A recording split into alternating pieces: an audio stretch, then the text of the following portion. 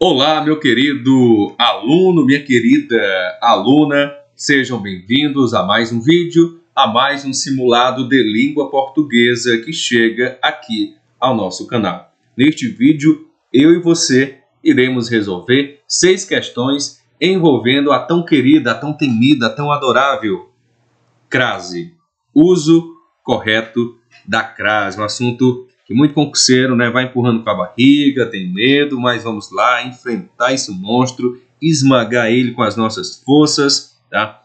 e caminhar tranquilamente nessa longa jornada rumo à classificação, rumo à nossa tão sonhada estabilidade, a conquista da nossa tão esperada vaga em um concurso público. Então vamos à resolução da nossa primeira questão. Considerando-se o uso da crase assinalar a alternativa correta. Então, estamos buscando na primeira questão a alternativa correta. Letra A, vou a Brasília. Letra B, comprei a banana. Letra C, Paulo começou a falar. E letra D, fui à escola. Então, vamos lá. Letra A, vou a Brasília. E aí, professor, tem crase ou não tem? O que, é que eu faço aqui? Olha, eu venho de Brasília ou venho da Brasília? Eu venho de Brasília. Tudo bem, professor, eu venho de Brasília. O que é que tem a ver aí com o meu caso? Se eu venho de, crase para quê? Se eu venho da, crase haverá. Então, como aqui temos venho de Brasília, eu vou a Brasília sem crase. Então, não é, não é a letra A. Lembrando que estamos buscando a alternativa correta. Letra B. Comprei a banana. Quem compra, compra algo ou compra a algo. Quem compra, compra algo. Não tem aqui a preposição, não é a algo. Tá na dúvida, é só trocar banana por alguma fruta masculina, né? Para ver se aparece aí artigo e preposição. Comprei o abacaxi ou comprei ao abacaxi. Comprei o abacaxi, né? Você nota que o a viraria o.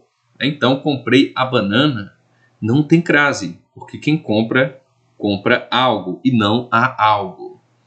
Letra C, questão bem clássica aqui. Paulo começou a falar, e a gente já sabe, se você assistiu a aula do nosso canal, que é, existe crase diante de verbo no infinitivo? Não. Olha aí, falar é verbo. Então essa crase aqui está errada, ok? Nem precisaria saber justificativo porque essa crase estaria correta, porque eu já identifiquei que a letra A, letra B, letra C estão erradas. Então me resta como gabarito letra D. Mas vamos lá. Fui à escola. Quem vai? Vai a algum lugar ou a algum lugar, né? Vai a algum lugar. Tá na dúvida? Troca escola, né? Foi uma palavra masculina, né? Fui ao mercado, né? Se eu colocasse mercado aqui, né, apareceria o artigo e a preposição ao. Então tem uma preposição aqui. Neste caso eu tenho um a mais a. Fui à escola, né? Porque quem vai vai a algum lugar. Então a crase aqui está correta. Nosso gabarito da questão é a letra D. Vamos lá, respirar, questão tranquila, né? bem didática, né? para a gente identificar por que, é que os itens estão equivocados. Então vamos à questão 2 a Banca Avança São Paulo.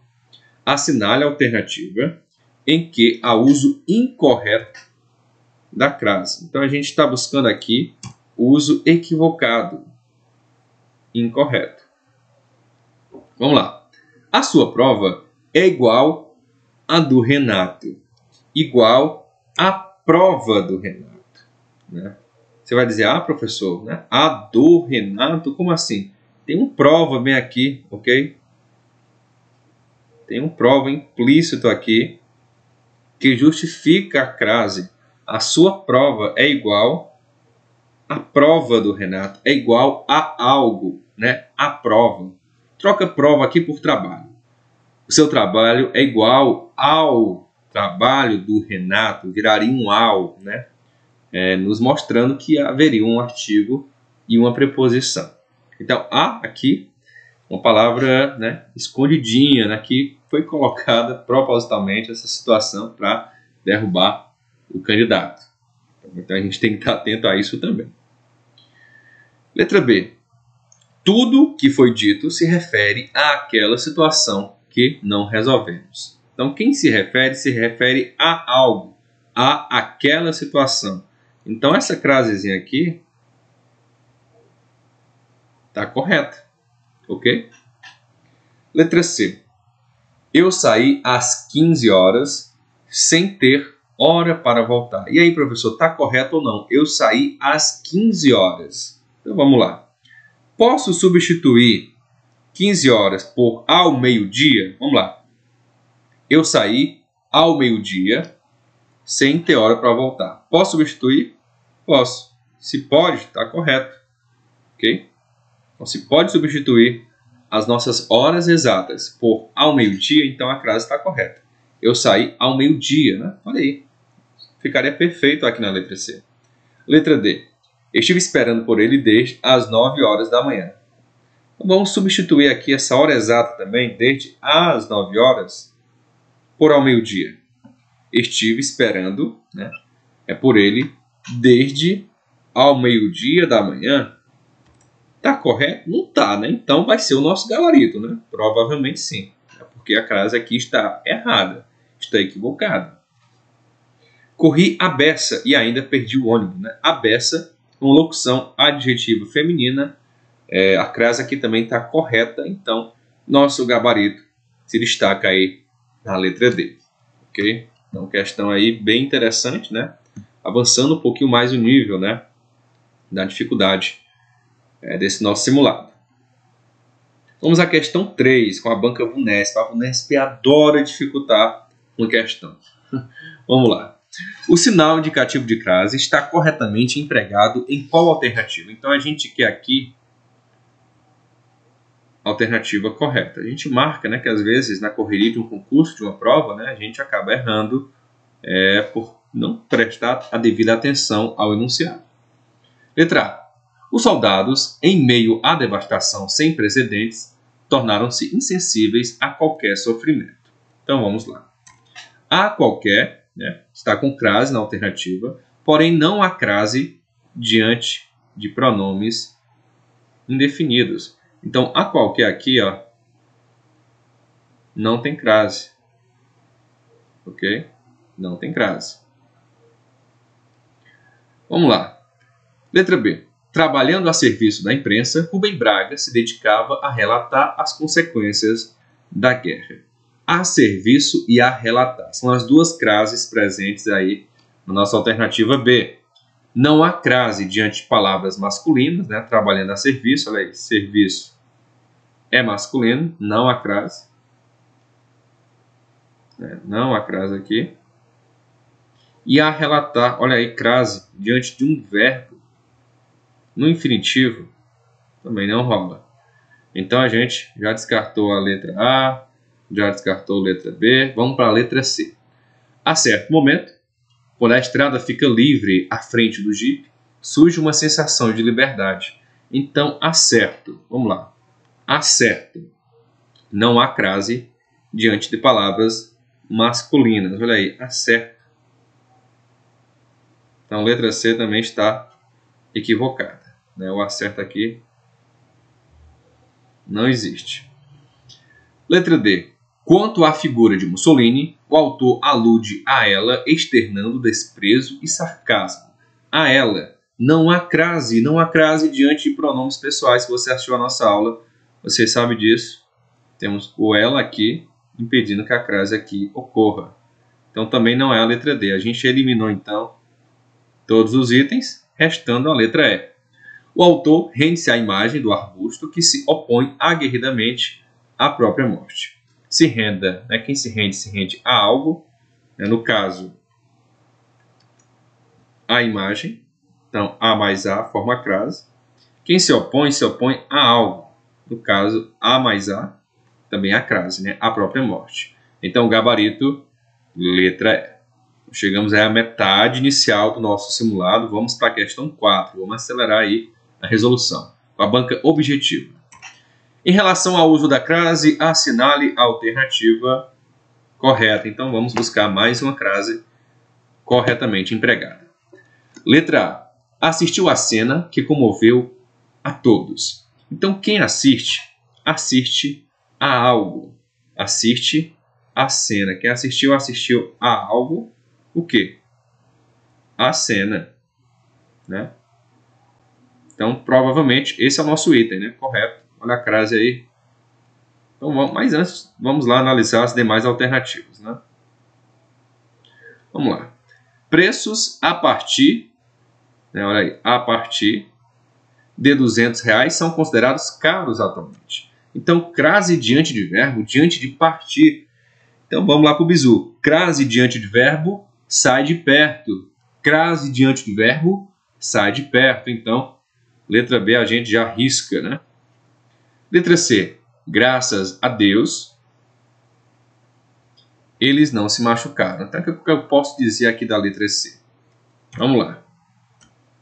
Crase mais palavra masculina, isso não dá rima. Olha o bizu. Crase mais palavra masculina, isso não tem como dar rima. Então, né? Deus aqui é masculino, a gente risca também. E letra D. Os jogadores estavam lado a lado quando a torcida gritou. Então vamos lá. Lado a lado, crase entre palavras repetidas, isso só dá briga. Então não dá para acontecer a crase aqui, não dá para você marcar também esse item como correto. Então nosso gabarito está na tela, está na cara, né? A gente resolveu com tranquilidade. Espero que você também tenha resolvido né? é, de maneira fácil, né? Senão dá aquela reforçada na leitura, no estudo das aulas, tá bom? Vamos lá. Questão 4, gabarito, letra A. Vamos à questão 5 mais uma questãozinha longa da gente resolver. Assinale a alternativa correta quanto ao uso da crase e da regência verbal. Uso da crase e da regência verbal. Então vamos lá. Letra A. O autor não precisou o local da separação acontecida e assim generalizou a situação. Então, generalizou a situação é a crase que tem na nossa alternativa. Quem generaliza generaliza algo. Então não tem crase, tá? Não tem crase. Nada de crase aqui na letra A. Então a gente já joga o X na letra A. Letra D. Discordo do descaso da sociedade, imponho-me firmemente a atitudes, olha aí, que corroboram para a, olha aí, para a separação dos verdadeiros amantes. Então, há atitudes e para a separação. Crase no singular, né, tem atitudes que está no plural, a crase está no singular, não pode. Crase no singular, diante de uma palavra no plural, não rola, está errado. E nem diante de outra preposição. Né, para, né? Para já é preposição. Para que, que eu vou jogar uma crase aí? Né? Então, letra B a gente também risca do mapa. Letra C. A despedida custou à amante horas de tristeza, quando sua memória fez referência àquelas situações de separações inevitáveis. Nas duas situações, as crases estão corretamente aplicadas. Ok? Então, a medida custou. Né? Custou a amante. Custou a quem? Né? Custou a amante horas de tristeza. Custa, custa algo a alguém. Né? Custou o quê? Qual esse algo? hora de tristeza. Quem é esse a alguém, né? Se custa algo a alguém. A amante. Então tem crase. E fez referência a aquelas situações. Quem faz referência, faz referência a algo. Então também tem crase. Letra D. Lembra-te que a situação relatada no texto remete-nos a uma situação comum em todo relacionamento. A uma situação, olha aí, não há crase diante de artigo indefinido. Olha uma aqui, né, a uma situação. Então não é a letra D, a gente já identificou aqui nosso gabarito, letra C, e a letra E. O carnaval é uma das festas, é, uma das, né, das festas, né, acabei não colocando festas aqui, né, das festas que mais gosto, mas continuo a pensar que seu adiamento foi mais que necessário. Olha aí, a pensar. O que, é que esse pensar aqui nos diz, né? Que não há crase diante de verbo, então, opa, né? Não há crase diante de verbo. Então, nossa letra E também está equivocada. Gabarito, letra C. Então vamos à nossa última questão, só que verificar a letra C. Questão 5, gabarito letra C. Última questão, banca metro capital. No que se refere ao uso correto da crase, analise os itens a seguir e, ao final, assinale a alternativa correta. Então vamos lá. Fomos a Pirapora. Tem crase ou não tem? Se volta da, crase haverá. Se volta de, crase para quê? Então vamos lá. Fomos a Pirapora. Eu volto da Pirapora ou volto de Pirapora? Eu volto de Pirapora. Professor, como é que eu vou, né?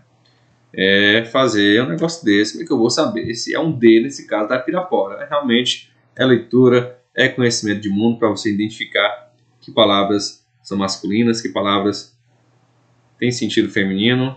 Tá? Pirapora aparentemente, né? Nos indica um caminho feminino, mas não é. Poxa, professor, se eu ficar na dúvida, eu posso recorrer? Pode, mas nessa situação aqui eu vou já é, mostrar um negócio aqui que a banca deu uma ajuda para o candidato. Tá? Eles foram à Moldávia, né? Moldávia é uma nação, né? Eu volto da Moldávia, né? Então, a, a, o item 1, né? Eu volto de. Se eu volto de, não tem crase. Se eu volto da, eles foram à Moldávia, eu volto da Moldávia, tem crase.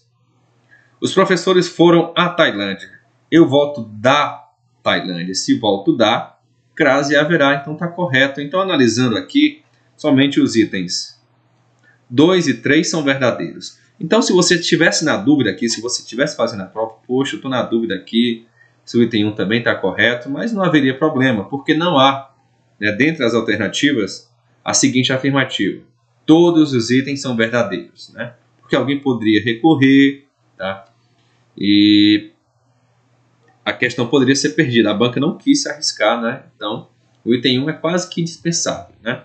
Por exemplo, aqui na minha região, na minha cidade, Granja, zona norte do Ceará, temos Pirapora, que é uma cachoeira, né? Então, eu poderia ter confundido, mas nesse caso aqui eu não confundi, tá? Acho que é a Pirapora paulista, né? Não sei, né? Qualquer, quem souber me dizer que Pirapora é essa, né? Tirar essa dúvida aí, fica nos comentários, né? Mas vamos lá. Pirapora, que é minha região, né? seria uma cachoeira, então seria realmente da Pirapora, né? mas no caso não falo da minha cidade. Né? Metro Capital, né? uma banca paulista. Então, finalizamos aqui a nossa aula, mais um simulado. Não deixe de comentar. Agradeço o seu carinho de sempre. Valeu!